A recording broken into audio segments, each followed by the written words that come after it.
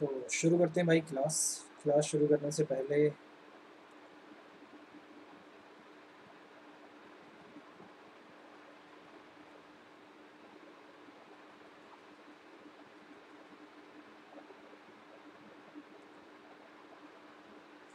अमित कुमार गुप्ता जी कैसे हो? श्याम भक्ति शर्मा जी कैसे हो? भाई अमिता शर्मा कैसे हो? आप रिया जी कैसे हो? अनवर भाई कैसे हो?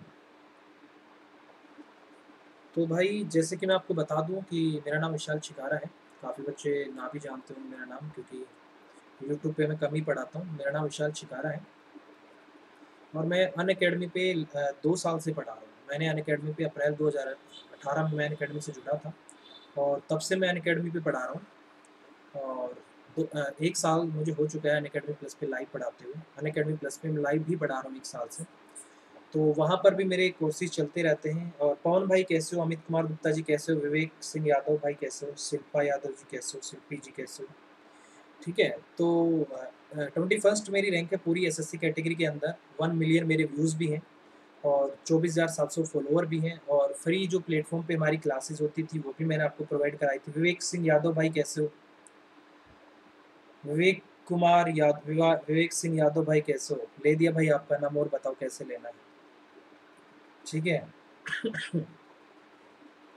तो देखो यार, जो भी बच्चा पहली बार इस चैनल पे आया है, वो इस चैनल को सब्सक्राइब कर लीजिए और बेल आइकन है उसको दबा लीजिए और इस पर हमारी जो क्लासेस चलती रहती है, मेरी अल्टरनेट डेज़ पे इस पर क्लास चलती है। तो मैं कुछ ना कुछ एक आपको छोटा सा टॉपिक आपके लिए लेके आता हूँ और वैसे अन अकेडमी पे अगर आप मुझे फॉलो करोगे तो अन अकेडमी पे सिर्फ़ मेरा नाम विशाल आपको टाइप करना है। एक ऐसा डिस्प्ले में फ़ोटो दिखाई देगा, ये मेरी प्रोफ़ाइल है। अब वहाँ पर जाके मुझे फॉलो कर लेना और इसके अलावा ये मेरा रेफरल कोड है Vishal at the rate one nine eight nine अगर आपको कभी भी अन अकेडमी को सब्सक्राइब करना पड़े तो मेरे इस रेफरल कोड के साथ आप अन अकेडमी को सब्सक्राइब कर सकते हो। ये आपकी एक हज़ार एक महीने की फ़ीस है, तीन महीने की छः महीने की, बारह महीने की, चौबीस महीने की। ये आपको क्या होता है, आपके पास कुछ क्रेडिट्स होते हैं। क्रेडिट्स प्लस में आपको जो मेरा रेफरल कोड होता है वो आपको अप्लाई करना होता है, ठीक है? उसको अप्लाई करने के बाद लास्ट में ये आपको पेमेंट करनी पड़ती है। आप इसको पे करके अन अकेडमी को सब्सक्राइब कर सकते हो। और मेरे अभी फ़िलहाल अन अकेडमी प्लस पे कोर्सेज चल रहे हैं। ये फ़िलहाल मेरा एक फाउंडेशन बैच चल रहा है। इसको आप ज्वाइन कर सकते हो। ये इसमें जो मेरी क्लासेस शुरू हुई हैं, मेरी क्लास इसमें पंद्रह जून पंद्रह जून से शुरू हुई है और मेरी जो क्लास चलती है रात को नौ से साढ़े दस चलती है, ठीक है? नौ से साढ़े दस। आप इसको कर सकते हो। इसमें पहला ही टॉपिक मैं रेशियो एंड परसेंटेज करा रहा हूँ। इसके अलावा मेरी क्लास चलती है दिन में एक, बजे। दिन में एक बजे मेरी क्लास चलती है इसमें मैं आपको परसेंटेज करा रहा हूँ और उस वाले में मैं आपको रेशो करा रहा हूँ। मैं बिल्कुल बेसिक से आपको पूरा अर्थमेटिक करा रहा हूँ। इसमें बेसिक से कराने के साथ साथ जो आपकी ट्रिक वगैरह होती है वो भी मैं आपको सारी कराता रहता हूँ। तो अगर आप चाहो तो मेरा फाउंडेशन बैच है अन अकेडमी प्लस पे अगर आप ऑलरेडी हो तो ज्वाइन कर सकते हो। और इस चैनल को सब्सक्राइब कर लीजिएगा और इस वीडियो को शेयर कर दीजिएगा। और आज जो मैं आपको कराने वाला हूँ वो है एक ऐसा पैरामिड की हम बात करेंगे। और मैं आपको डेली एक पेपर भी सोल्व कराता हूँ भाई। मैं आपको डेली एक पेपर सोल्व कराता हूँ। डेली एक पेपर मैं आपको सोल्व कराता हूँ। हमारी जो स्पेशल क्लास होती है उसमें, मैं डेली सुबह ग्यारह बजे स्पेशल क्लास लेता हूँ और इसमें फ़िलहाल सी एच एस एल दो हज़ार अठारह की मैं आपको पेपर करा रहा हूँ। और डेली एक पेपर मैं आपको प्रैक्टिस कराता हूँ और ये सारे पेपर आपसे TCS ने लिए थे और ये वाला पेपर आपको पता होगा। ये पेपर आपका जुलाई 2019 में TCS ने आपसे लिया था। तो डेली एक मैं आपको पेपर कराता हूँ। जैसे मैंने आपको SSC S C C G L दो हज़ार उन्नीस परी के सारे पेपर करा दिए हैं। अठारह सेट आए थे, अठारह के अठारह सेट मैंने करा दिए हैं।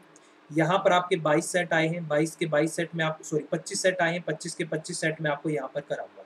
तो डेली में एक पेपर सोल्व कराता हूँ तो इससे होता क्या है कि हमें पता लगता रहता है कि हमसे एसएससी पूछ क्या रही है। तो नए पैटर्न पे जितने भी पेपर एसएससी ने आपसे मार्च 2019 से लेकर मार्च 2020 तक जितने पेपर आपसे पूछे हैं, हर एक पेपर का आपको मैं वहाँ पर सोल्यूशन करा रहा हूँ।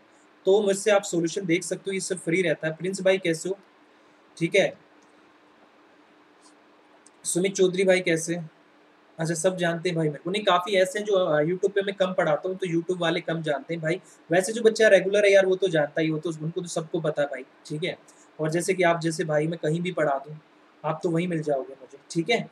तो अभी हम शुरू करेंगे। अमित कुमार गुप्ता भाई बताओ, क्या क्वेश्चन है? पूछो भाई, क्या क्वेश्चन है?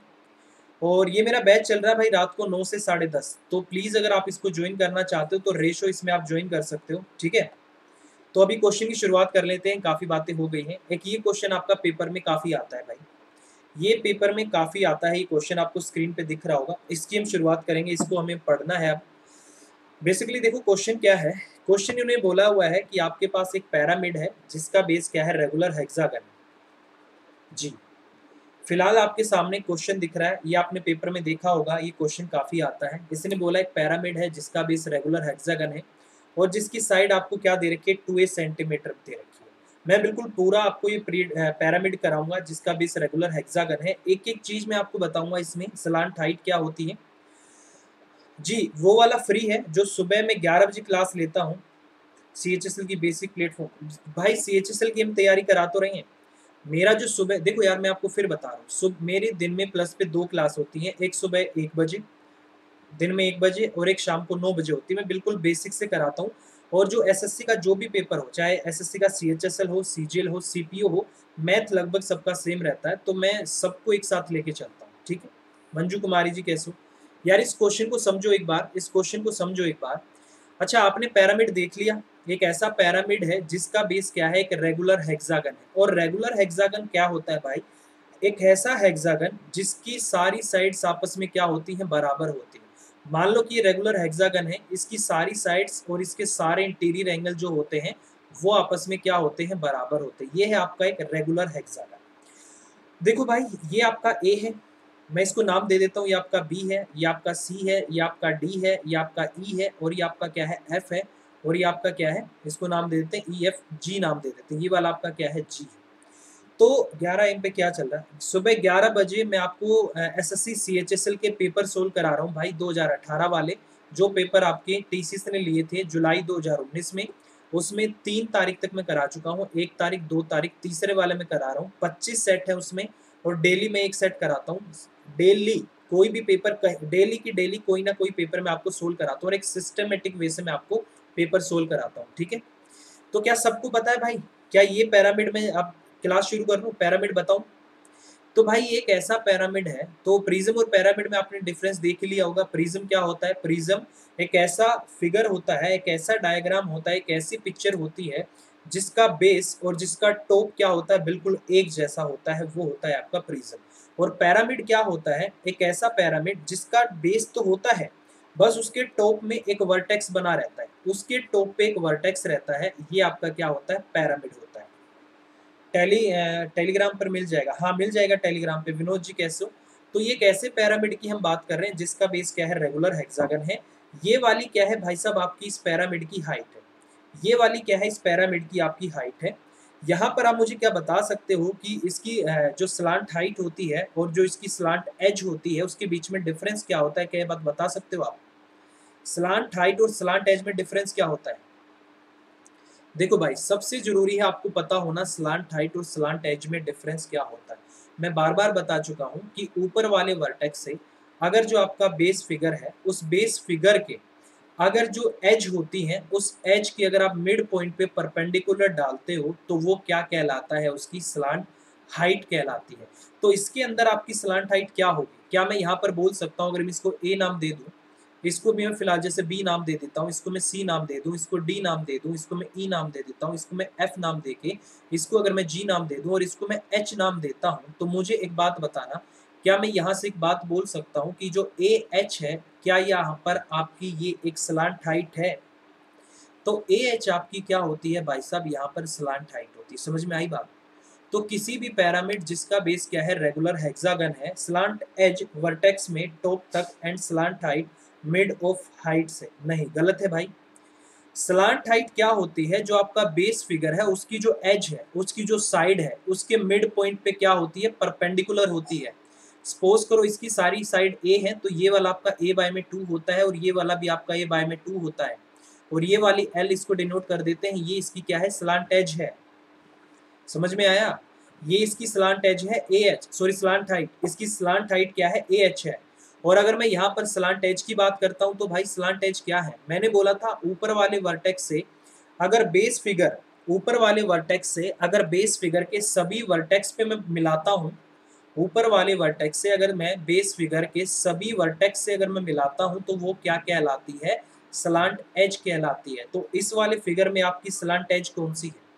इस वाले फिगर में आपकी स्लांट एज कौन सी है? तो आपको भी पता होगा स्लांट एज इसमें कौन कौन सी आएगी? ए सी आपकी स्लांट एज है ए बी आपकी स्लांट एज है ए जी आपकी स्लांट एज है ए डी आपकी स्लांट एज है ए ई e आपकी स्लांट एज है, ठीक है? ए बी हो गया ए जी हो गया ए डी हो गया और ए एफ़ हो गया। तो यहाँ पर आपकी स्लांट एज कितनी है? टोटल आपकी छह स्लांट एज समझ में आई? ये सारी आपकी क्या होती है? स्लांट एज होती है। जब ऊपर वाले वर्टेक्स से बेस फिगर के सभी वर्टेक्स पे आप मिलाते हो तो वो उसकी सलांट एज कहलाती है। अगर ऊपर वाले वर्टेक्स से आप बेस फिगर की जो एज होती है, जो साइड्स होती हैं, उनके साइड्स पे अगर आप परपेंडिकुलर डालते हो एसी एसी एसी बिल्कुल एसी आपकी सलांट एज है भाई। अगर आप ऊपर वाले वर्टेक्स से आपका जो बेस फिगर क्या है रेगुलर हेक्सागन है, अगर उसकी साइड पे आप परपेंडिकुलर डालते हो ना तो वो आपका क्या कहलाता है? सलांट हाइट कहलाती है। और याद रखना, जो आपकी सलांट हाइट होती है दोस्त, वो आपका जो लेटरल फेस होगा, इसका जो लेटरल फेस होता है, वो उसकी हाइट भी कहलाती है।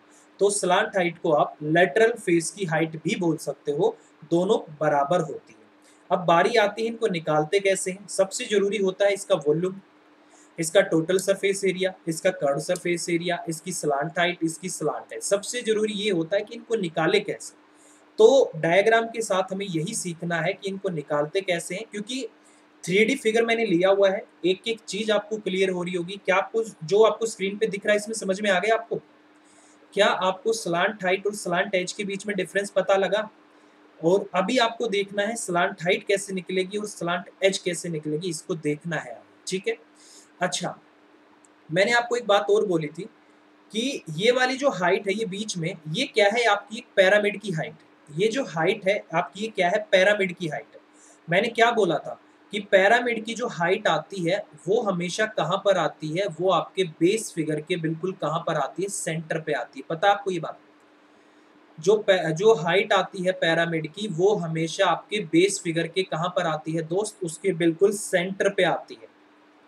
तो उसके सेंटर पे आ रही है तो मुझे एक बात बता दो, आपको ये वाला, इसका सेंटर है तो अगर इसकी हाइट है, चलो, एक और डायग्राम हम लेते हैं तो उसमें हम देख लेते हैं। अच्छा मुझे एक बात बताओ, छोटी सी एक बात बताना, छोटी सी मुझे एक बात बताना, यहाँ पर सपोज़ करो मैं एक पैर कि रेगुलर हेक्सागन बनाता हूँ, ठीक है? इस तरीके से मैं एक रेगुलर हेक्सागन बनाता हूँ।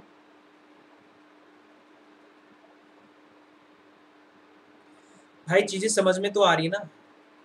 जो मैं समझा रहा हूँ, आपको समझ में तो आ रहा होगा ना भाई। नहीं आए तो बता देना, ठीक है?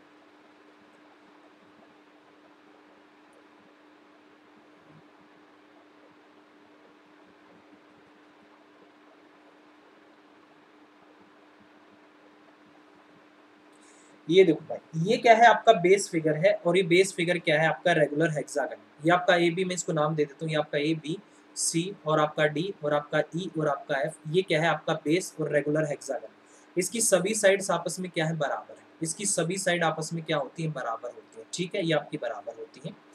तो मुझे एक बात बताओ, ये सारी साइड आपकी अंदर की ए ये भी आपकी ए होती है, ये भी आपकी ए होती है, ये भी आपकी ए होती है और ये भी आपकी ए होती है। ठीक है? समझ में आ रहा अच्छा तो मुझे एक बात बताओ, आपको पता है, आपको पता है, इसके बाहर अगर कोई सर्कल हो तो उसकी सरकम रेडियस किसके बराबर होती है?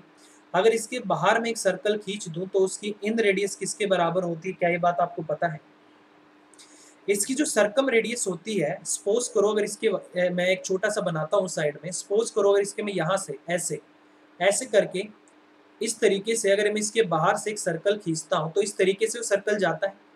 तो क्या आपको पता है? यहाँ वाला, ये वाला ये वाला इसका डायमीटर होता है तो ये भी आपका ए है और ये भी आपका ए है। ये छोटा सा पॉइंट आपको पता लगा। कि इसकी जो रेडियस होती है, वो रेगुलर हेक्सागन की क्या होती है? साइड होती है। जो सरकम रेडियस होगी, वही आपकी रेगुलर हेक्सागन की जो साइड है, वो उसके बराबर होती है। तो आर बराबर आपका ए आ गया। मैं ये बात बोल सकता हूँ। ठीक है? मैं ये बात बिल्कुल बोल सकता हूँ। अमित भाई कैसे दूसरा, अगर मैं आपको बोलूँ, इसकी इन रेडियस क्या होगी? क्या आपको पता है? अगर मैं इसी तरीके से, अगर मैं रेगुलर हेक्सागन लेता हूँ, अगर मैं इसी तरीके से रेगुलर हेक्सागन ले लूँ और ये वाला, इसके अंदर से अगर मैं एक सर्कल खींच दूँ ऐसे, अगर ऐसे में खींचता हूँ तो मुझे एक बात बता दो, यहाँ पर और ये यहाँ पर मिलती है ना इस तरीके से, क्या ये वाली, क्या यहाँ पर, अगर मैं यहाँ पर एक ये वाली हाइट लेके आता हूँ, ये वाली, क्या मैं बोल सकता हूँ, ये वाली जो लेंथ होती है, ये वाली, क्या ये आपके अंदर वाले सर्कल की रेडियस होती है? अमित भाई कैसे हो? क्या ये वाली जो आपकी हाइट है, ये वाली, क्या ये वाली आपकी इन रेडियस होगी? तो मुझे एक बात बता दो, ये क्या, कितनी होगी? क्या ये आपकी रूट थ्री बाय में टू और क्या ये आपकी ए आ जाएगी? क्या ये आपकी रूट थ्री बाय में टू ए आ जाएगी? क्यों? क्योंकि ए ओ बी आपका क्या है? एक इक्विलेटरल ट्रायंगल है और इक्विलेटरल ट्रायंगल की ये क्या है? हाइट है और वही उसकी मीडियन होती है, वही उसका परपेंडिकुलर होता है, वही उसका एल्टीट्यूड होता है। तो इसका मतलब ये वाली जो आपकी इन रेडियस होती है, वो क्या होती है? वो रेगुलर हेक्सागन की साइड का रूट थ्री बाय में क्या होती है? टू होती है। तो इसको मैं लिख सकता हूँ कि इसकी जो ये इन रेडियस होती है रूट थ्री बाय में टू ए होती है ये समझ में आ गया भाई? इतना समझ में आ गया? इसमें किसी को डाउट हो तो बताओ भाई। सरकम रेडियस आर क्या है आपकी? सरकम रेडियस है और स्मॉल आर आपका क्या है? इन रेडियस है। तो सरकम रेडियस और इन रेडियस आपकी ये होती है रेगुलर हेक्सागन के अंदर। ये होती है आपको ये पता होगा, ठीक है? रूट थ्री बाय में टू अब बारी आती है कि इनका हमें यूज़ कैसे करना है। इनका यूज़ हमें करना होता है स्लांट हाइट और स्लांट एज निकालने के लिए। तो हमें चलना पड़ेगा वापस डायग्राम पे, वापस हमें डायग्राम पे चलना पड़ेगा। इतना आपको समझ में आ गया ना भाई? ठीक है। तो वापस अगर हम डायग्राम पे चलते हैं तो एक आधा डायग्राम और है यहाँ पर। ठीक है? चलो एक और ले लेते हैं। ये वाला होगा। ये वाला ले लेते हैं भाई। ये वाला ले लो आप। ठीक है? इस डायग्राम को हम ले रहे हैं। तो यहाँ पर मुझे बात बताना, अगर मैं इस डायग्राम की बात करूँ, यहाँ पर यहाँ पर अगर मैं बात करता हूँ तो ये बेसिकली आपका क्या है? कैपिटल आर है। ये बेसिकली क्या है? आपका कैपिटल आर है। सपोज़ करो इसको मैं यहाँ से मिला देता हूँ। सपोज़ करो मैं इसको यहाँ से मिला देता हूँ, इसको मैं इस पर मिला देता हूँ। ठीक? इसको मैं इस पर मिला देता हूँ। और इसको मैं इस पर मिला देता हूँ।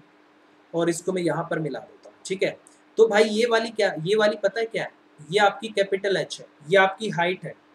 इन रेडियस इक्विलेटरल ट्रायंगल की ही अकॉर्डिंग है। हाँ इन रेडियस उस इक्विलेटरल ट्रायंगल की हाइट है।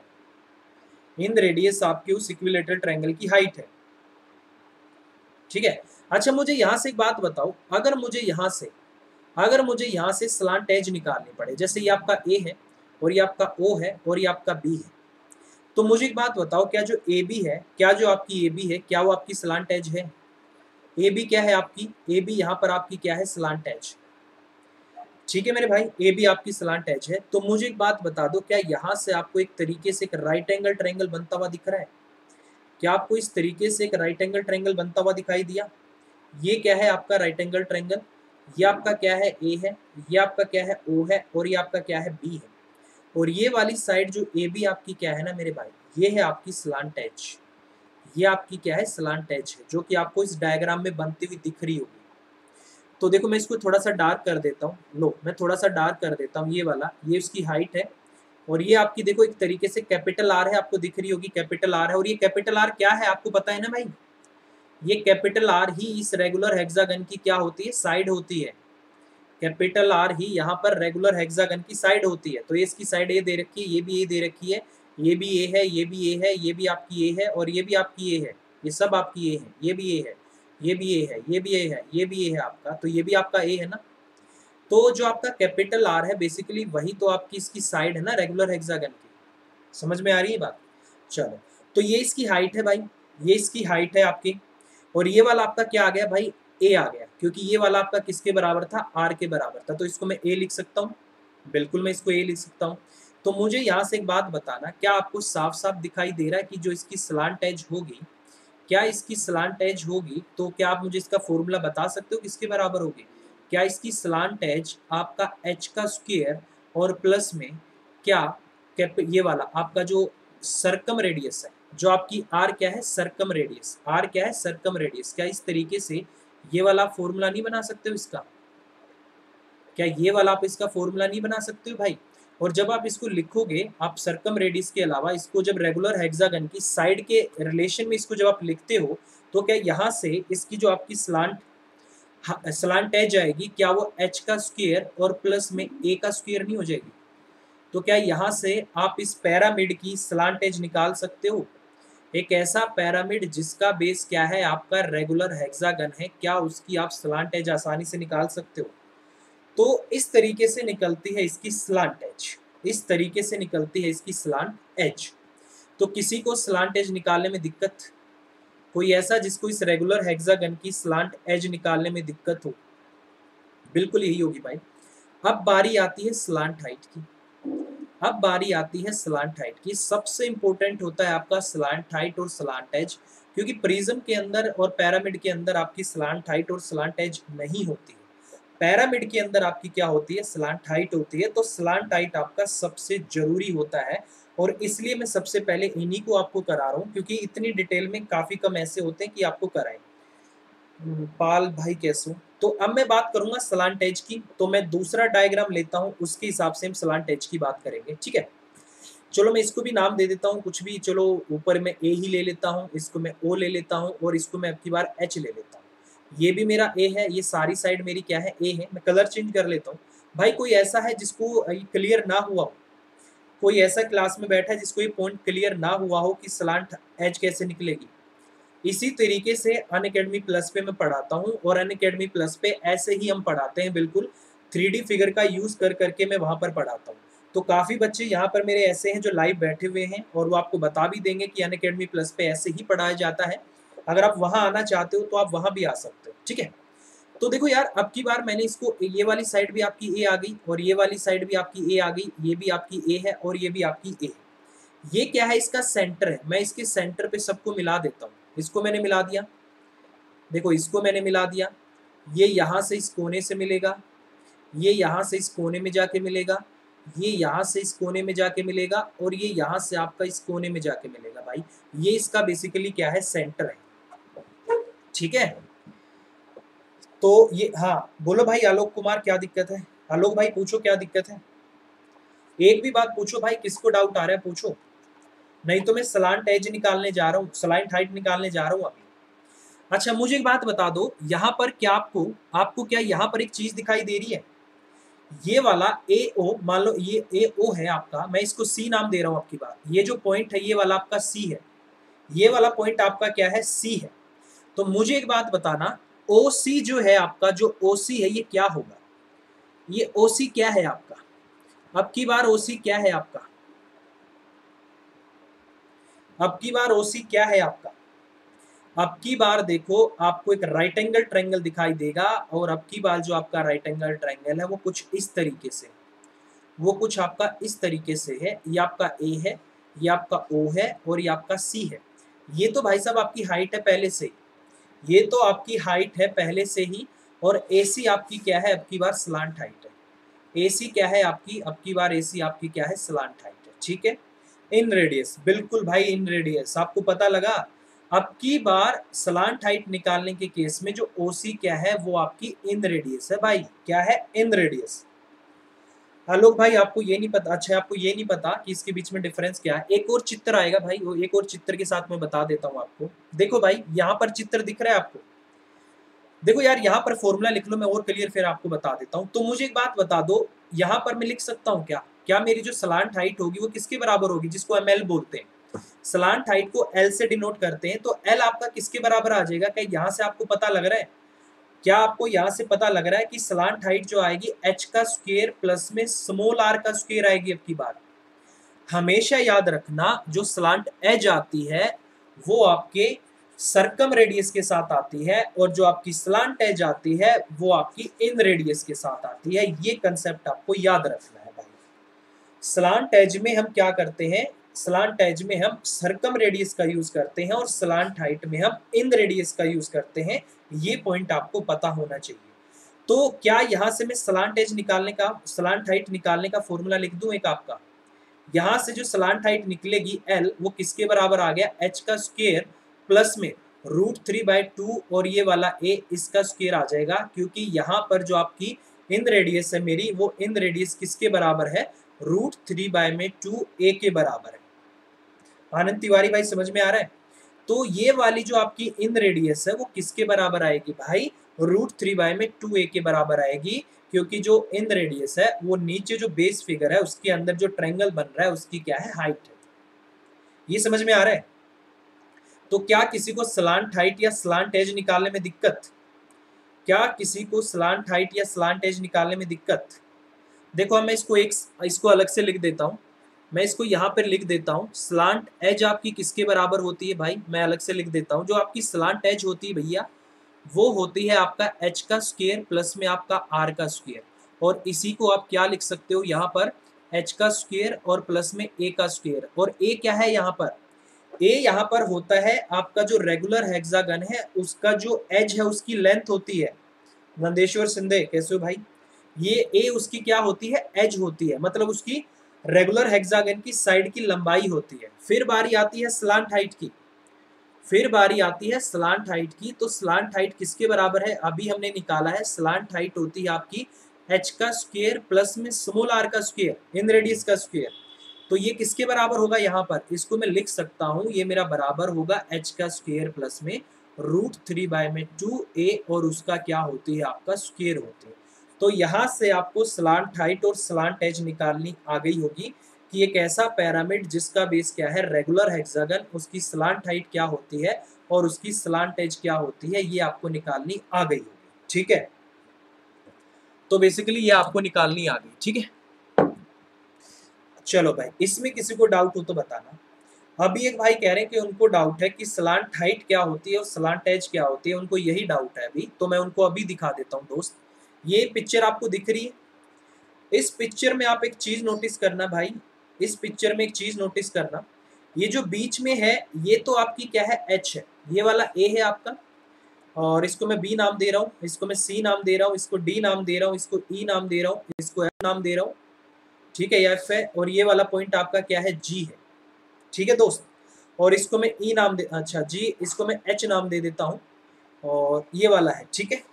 तो देखो भाई, यहाँ पर मैंने क्या बोला, ऊपर वाले वर्टेक्स से, ऊपर वाले वर्टेक्स से अगर जो आपका बेस फिगर है, जो बेस फिगर है, उसकी अगर साइड है जो, ये वाली बी सी उसकी साइड पे अगर हम परपेंडिकुलर ड्रॉ करते हैं तो वो परपेंडिकुलर हम जो ड्रॉ करते हैं, यहाँ पर एक तो परपेंडिकुलर होता है और एक इस पे बाइसेक्टर भी होता है। और यही आपका जो ए एच है ना मेरे भाई, यहाँ पर, ये ए एच ही यहाँ पर क्या है, इसकी स्लांट हाइट है। ये ए एच ही क्या है भाई साहब? आपकी सलांट हाइट है और इसी को हम एल से डिनोट करते हैं। और जो आपका बाकी की वैल्यूज़ बच गई ना, अगर मैं ऊपर वाले वर्टेक्स से, अगर मैं बेस फिगर के सभी वर्टेक्स पे मिलाता हूँ, सभी वर्टेक्स पे अगर मैं ऊपर वाले वर्टेक्स को मिला दूँ तो वे, वो जो आपकी लेंथ होती है, वो आपकी क्या होती है? सलांट एज होती है।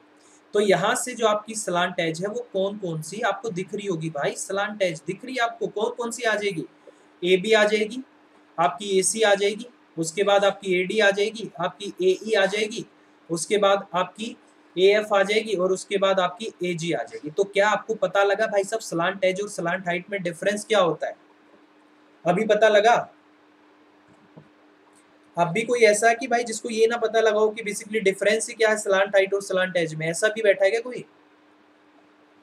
यार देखो, अगर आए हो तो समझ के जाओ यार। ठीक है, ऐसे मत करो। बताते चलो, अगर नहीं आ रहा मैं फिर बता दूँगा, ठीक है? तो सलांट एज आ गई सलांट हाइट सलांट हाइट आ गई भाई, ठीक है? चलो भाई, और कोई किसी को कोई डाउट है भाई? चलो, अब हम बात करते हैं, अब हम बात करते हैं कि मैंने क्या बोला है? बेसिकली जो आपकी स्लांट हाइट होती है ना, मैं आपको क्या कह रहा हूँ, जो इसकी स्लांट हाइट होती है, उसको हम क्या बोलते हैं? हाइट ऑफ़ लेटरल फेस भी बोलते हैं। उसको हम हाइट ऑफ़ लेटरल फेस भी बोलते हैं। हाइट ऑफ़ लेटरल फेस और आपको पता होगा लेटरल फेस कौन सा है? आपको ये भी पता होगा कि लेटरल फेस कौन सा होता है। जैसे इस पिक्चर की मैं बात कर रहा हूँ तो इसमें लेटरल फेस कौन कौन सा है? अगर मैं इसको ए नाम दे के चलता हूँ, इसको बी नाम दे दूँ, इसको सी दे दूँ, इसको डी दे दूँ, इसको ई e दे दूँ, इसको एफ़ दे दूँ और इसको जी नाम दे दूँ तो बेसिकली लेटरल फेस आपके कौन कौन से हैं? यहाँ पर छह ट्रेंगल ऐसे बनेंगे जो आपके क्या होते हैं? इसके लेटरल फेस होते हैं। छह ट्रेंगल आपके ऐसे बनेंगे जो इसके लेटरल फेस होते हैं और वो आपको दिख रहे होंगे। वो आपको दिख भी रहे होंगे, ठीक है? जैसे मैं इसको ऐसे बना लेता हूँ, ठीक है? एक ट्रेंगल आपका इस पे बनेगा, एक ट्रेंगल आपका इस पे बनेगा, एक ट्रेंगल यहाँ पर बनेगा, एक ट्रेंगल आपका यहाँ पर बनेगा और एक ट्रेंगल आपका यहाँ पर बनेगा। तो ये इसको जब आप पूरा ओपन करते हो ना तो इस तरीके की आपको फिगर बनाई दिखी, बनाई दिखाई देगी, ठीक है? जब इसको आप पूरा ओपन करोगे तो ऐसा दिखाई देगा।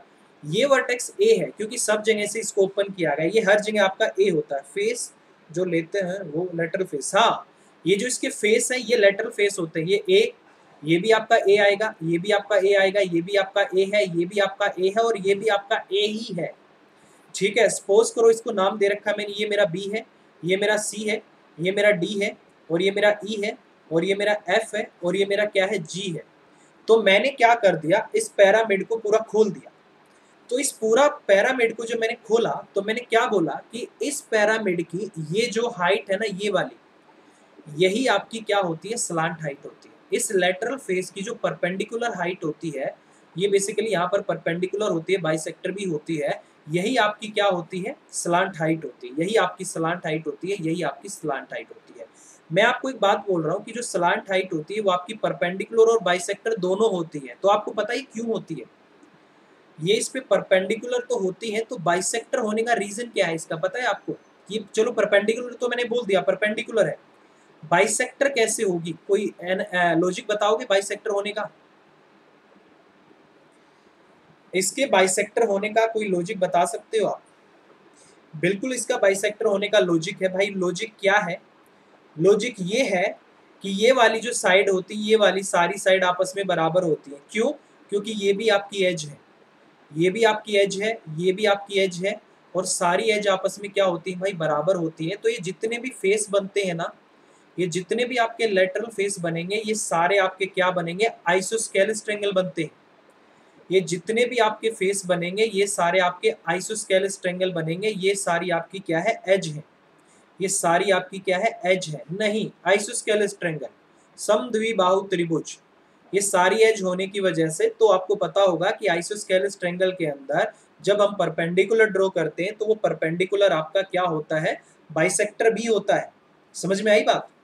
तो इस तरीके से ओपन करने के बाद ही आपका बनता है। जैसे सर, कोने में सलांट हाइट होता है, वैसे ही इसमें होता है क्या? भाई, कौन, शंकु हाँ भाई जितने भी पैरामिड होते हैं ना भाई, जितने भी पैरामिड होते हैं, सब में होती है सलांट हाइट और जो आपका कोन है, वो कोन भी आपका एक पैरामिड ही है. जो कोन है, वो भी आपका एक पैरामिड ही होता है मेरे भाई. इक्विलेटरल ट्रायंगल कैसे बनेंगे भाई, बताना एक बार इक्विलेटरल ट्रायंगल कैसे बनेंगे? आइसोस्केलस बनेंगे भाई समद्विबाहु त्रिभुज. भाई पैरामिड के अंदर कौन भी पैरामिड होता है आपका. ठीक है, उसके अंदर ये सारे ऐसे पैरामिड होते हैं जिसका बेस स्क्वेयर होता है रेक्टेंगल होता है इक्विलेटरल ट्रायंगल होता है हेक्सागन होता है। समझ में आ रही बात?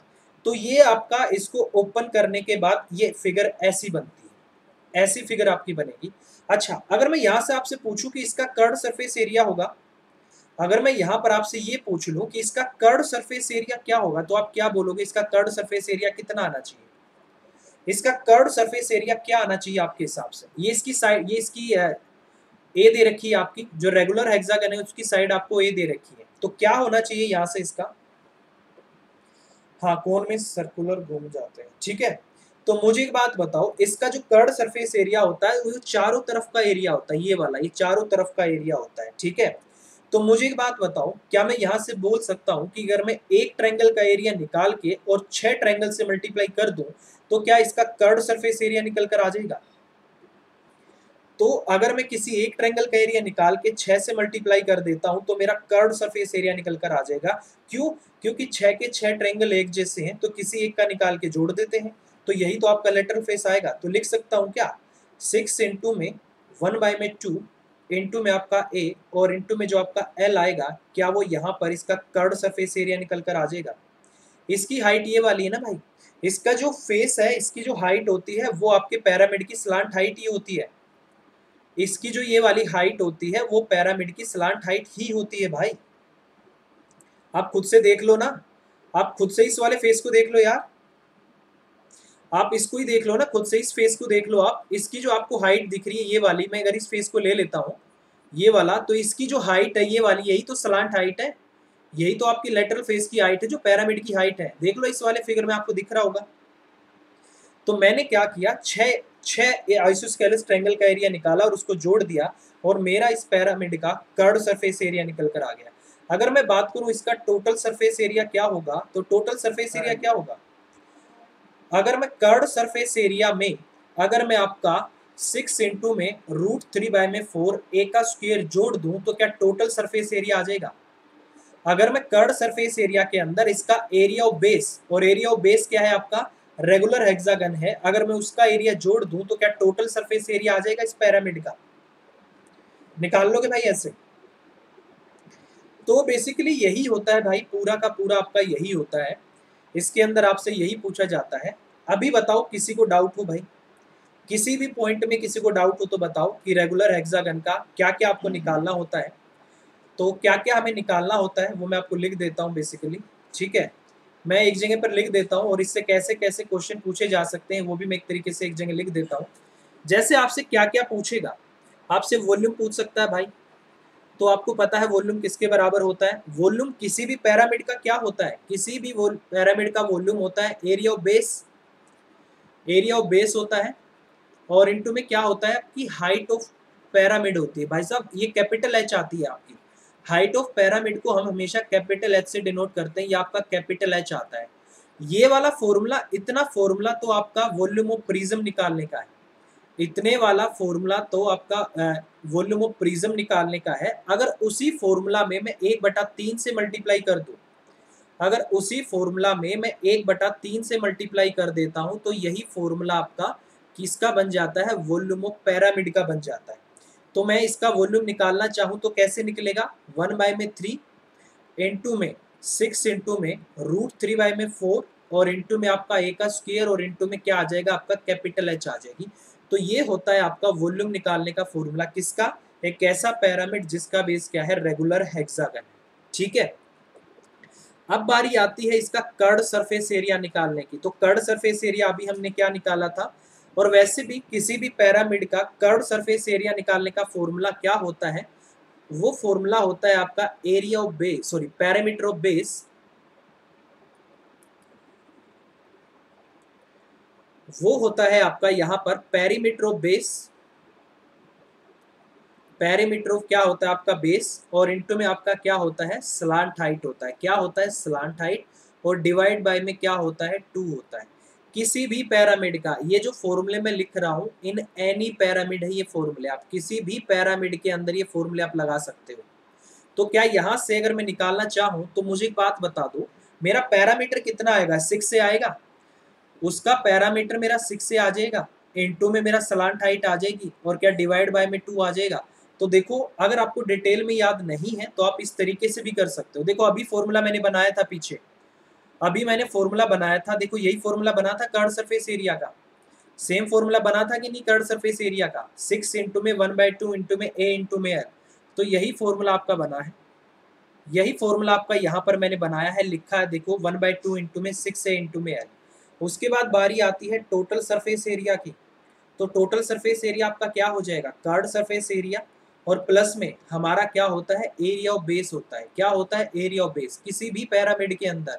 तो कितना आ जाएगा? सिक्स ए एल बाय में टू और प्लस में आपका कितना आ जाएगा? सिक्स इंटू में रूट थ्री बाय में फोर ए का। स्क्वेयर जो थोड़ी देर पहले मैंने फॉर्मूला बनाया था, वैसा ही है। अगर मैं कर्ड सरफेस एरिया में एरिया ऑफ़ बेस अगर मैं ऐड कर देता हूँ तो ये उस पैरामिड का टोटल सरफेस एरिया निकल कर आ जाता है। तो कर्ड सरफेस एरिया आ गया टोटल सरफेस एरिया आ गया और आपका वॉल्यूम निकल कर आ गया। तो दो पॉइंट और थे, उसको भी लिख ही लो यार। दूसरा पॉइंट आपका क्या था? दूसरा पॉइंट आपका ये वाला था, जैसे कि मैंने आपको बोला था। क्या? सलांट एज सलांट एज क्या होती है? वो लिख लो भाई, किसके बराबर होती है? हाइट का स्क्वेयर और प्लस में कैपिटल आर का स्क्वेयर और यहाँ पर जो आपकी स्लांट हाइट होती है, वो भी आप लिख लो भाई, जो बहुत ज़रूरी होती है भाई, ये दोनों चीज़ें मोस्ट इंपॉर्टेंट होती है। तो ये होता है आपका एच का स्क्वेयर प्लस में आपका आर का स्क्वेयर और ये होती है आपकी स्लांट हाइट ठीक है? तो अभी मुझे बताओ, इस पैरामिड में किसी को डाउट है? इस पैरामिड में किसी को डाउट जिसका स्लांट हाइट भी हमने निकाल ली, उसकी स्लांट एच भी हमने निकाल ली उसका वॉल्यूम हमने निकाल लिया, उसका कर्ड सरफेस एरिया हमने निकाल लिया और उसका टोटल सरफेस एरिया हमने निकाल लिया। इसके अलावा पैरामिड में इससे रिलेटेड आपसे एक्स्ट्रा कुछ भी नहीं पूछा जा सकता, इतना ही होता है जो आपको पता होना चाहिए। इसके अलावा कुछ भी आपको जानने की ज़रूरत नहीं है, ठीक है? तो आज ये पैरामिड मैंने आपको कंप्लीट कराया है, जिसका बेस क्या है? रेगुलर हेक्सागन है। और इस पे एक छोटा सा क्वेश्चन था, क्या मुझे इस क्वेश्चन का आंसर बता सकते हो? क्या मुझे आप इस क्वेश्चन का आंसर बता सकते हो?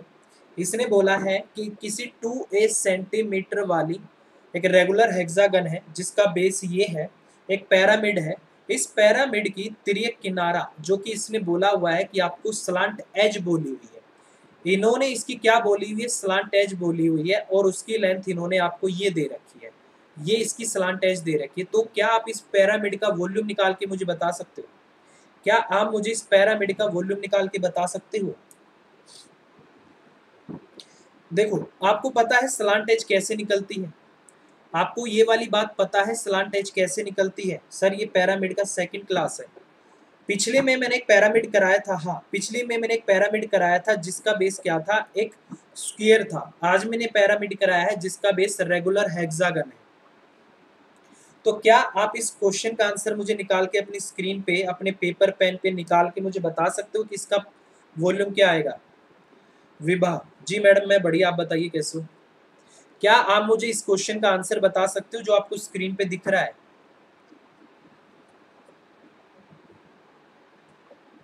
क्या आप मुझे इस क्वेश्चन का आंसर बता सकते हो जो स्क्रीन पे आपको दिख रहा है? इन्होंने बोला एक पैरामिड है, जिसका बेस रेगुलर हेक्सागन है, जिसकी साइड टू ए है। और एक उसकी स्लांट एज आपको दे रखी है, स्लांट एज है फाइव ए बाय में टू। आपसे पूछा है, इसका वॉल्यूम क्या होगा? क्या आप मुझे इसका वॉल्यूम बता सकते हो?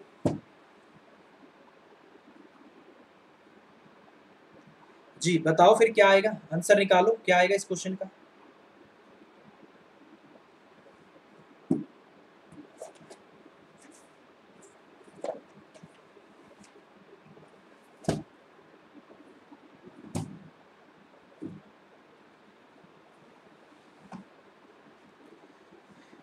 कोई निकाल रहा है क्या भाई, चलो मैं आपको इस क्वेश्चन को मैं ही करके दिखा देता हूँ, भाई, आप लोग नहीं कर रहे, मेरे को लग रहा है। मेरे को लग रहा है कि आप लोग नहीं कर पा रहे, या फिर आप ट्राई नहीं कर रहे, या आपसे हो नहीं रहा, कुछ ना कुछ तो बात है भाई। जो मैं मैं कर देता हूँ भाई इस क्वेश्चन को। किसी का आंसर नहीं आया, किसी का भी नहीं आया अभी तक आंसर किसी का नहीं आया, मैं कर देता हूँ भाई इस क्वेश्चन को, तुम टेंशन ना लो, ठीक है? मैं करता हूँ। देखो यार, अगली अगले उस पर चलते हैं, अगले यहाँ यहाँ पर चलते हैं। अगर मैं इसको मिटा देता हूँ, चलो, इसको मैं यहाँ पर मिटाता हूँ, ठीक है?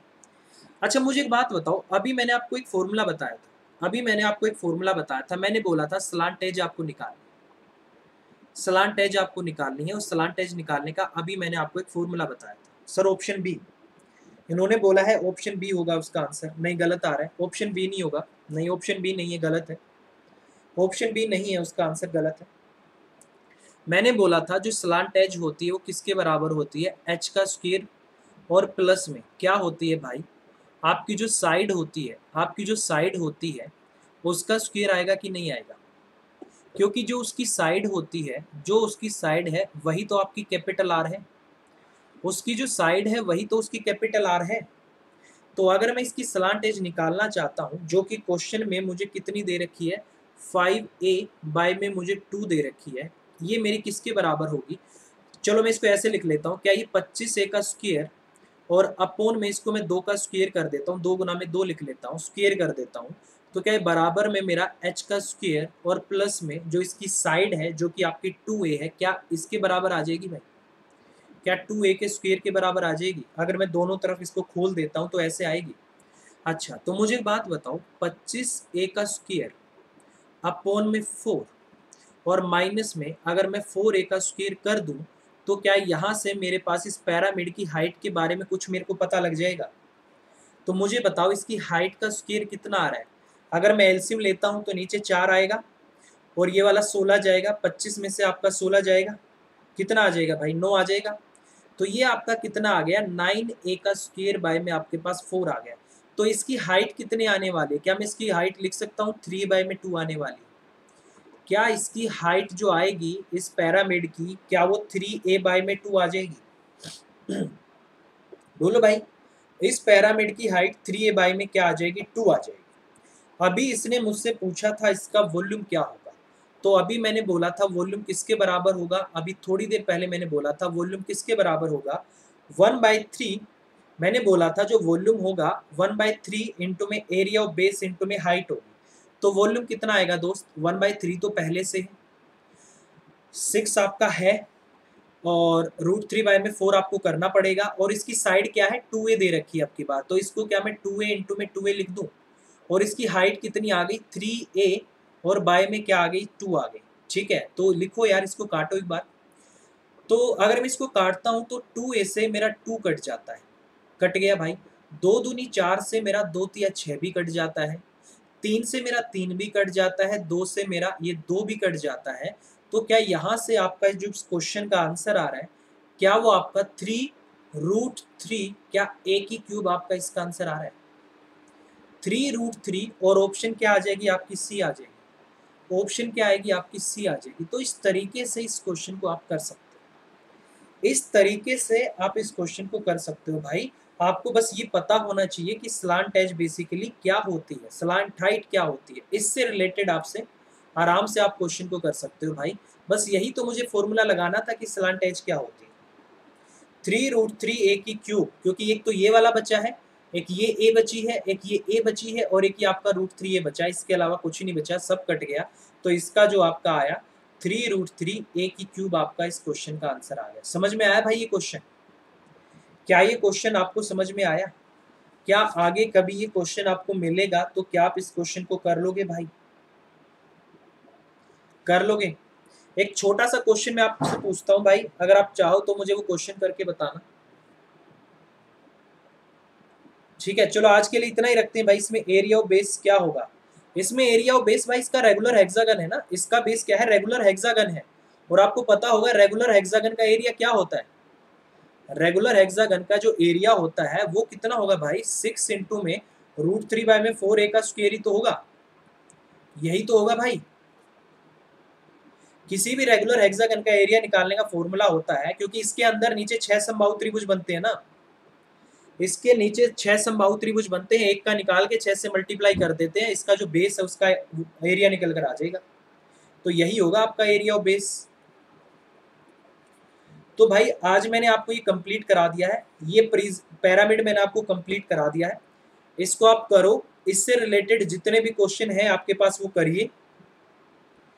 जी, बिल्कुल भाई, वही है वही है वही है। तो इससे रिलेटेड आप जितने भी क्वेश्चन आपके पास हैं उनको करिए। आज की क्लास के लिए इतना ही रखते हैं। ठीक है? आज की क्लास को इतना ही रखते हैं। और भाई, मैं फिर से आपको बता दूँ मैं आपको फिर से बता देता हूँ कि आप हमारे टेलीग्राम चैनल को हमारा जो टेलीग्राम चैनल है, उसका लिंक आपको नीचे मिलेगा। आप उसको जाके सब्सक्राइब कर लेना, वहाँ पर आपको सारी पीडीएफ मिलेंगी। टेलीग्राम चैनल में हमार हमारी जितनी भी पीडीएफ है, वो आपको टेलीग्राम चैनल पे मिल जाएँगी। नीचे उसका लिंक होगा, उसको ज्वाइन कर लीजिए। यूट्यूब चैनल को सब्सक्राइब कर लीजिए और इसकी बेल आइकन को भी दबाइएगा।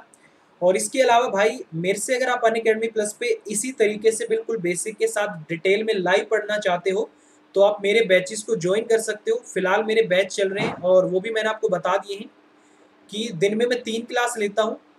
पूरे दिन में मैं तीन क्लास लेता हूँ, मैं दोबारा लिख देता हूँ। एक मेरी क्लास ग्यारह बजे होती है, सुबह ग्यारह बजे। ये मेरी क्लास होती है, बिल्कुल फ्री होती है, ये स्पेशल क्लास है। ये फ्री है, ये स्पेशल क्लास है। उसके बाद मेरी दिन में एक बजे क्लास होती है। और उसके बाद रात को नौ बजे क्लास होती है। इन दोनों में मैं आपको पूरा अरिथमेटिक कंप्लीट करा रहा हूँ, ठीक है? इन दोनों में मैं आपको अरिथमेटिक कंप्लीट करा रहा हूँ। और एक में परसेंटेज चल रहा है और एक में हमारा रेशियो चल रहा है। तो आप इनको ज्वाइन कर सकते हो। और इसके अलावा स्पेशल क्लास में मैं आपको एसएससी के सी एच एस एल दो हज़ार अठारह के डेली एक पेपर सोल्व करा रहा हूँ। इसमें 25 सेट है। 25 के 25 सेट में आपको डेली कराऊँगा। एक एक करके तो आप इसको भी मेरी क्लासेस को ज्वाइन कर सकते हो। और इसके अलावा मेरा रेफरल कोड आपको पता होगा, Vishal at the rate one nine eight nine तो आप मेरे रेफरल कोड से अन अकेडमी को सब्सक्राइब करके मुझसे अन अकेडमी प्लस पे लाइव में जुड़ सकते हो। और मैं आपको हर एक चैप्टर डिटेल से कराता हूँ और हर एक चैप्टर के आपको लगभग 500 से 600 क्वेश्चन प्रैक्टिस के लिए मैं आपको शीट भी प्रोवाइड करता हूँ। तो आपको कंटेंट की भी दिक्कत नहीं आएगी, मैं आपको शीट प्रोवाइड करता रहूँगा, ठीक है? तो फिर अभी के लिए इतना ही रखते हैं भाई। शाम को मिलते हैं नौ बजे अन अकेडमी प्लस पे। तब तक आप इस पैरामिड को करिए। और अगली क्लास में मैं आपको एक ऐसा पैरामिड कराऊँगा जिसका बेस क्या होता है? एक रेक्टेंगल होता है, एक आयत होती है भाई। ठीक है? तो अभी के लिए इतना ही। Bye bye take care thank you very much शाम को मिलते हैं भाई। ठीक है?